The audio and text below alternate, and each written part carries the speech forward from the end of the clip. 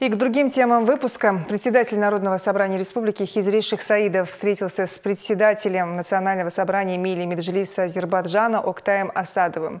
Приняли участие во встрече и представители Совета Федерации страны. Хизри Шихсаидов отметил важность взаимодействия двух парламентов в рамках подписанного соглашения о дружбе и сотрудничестве.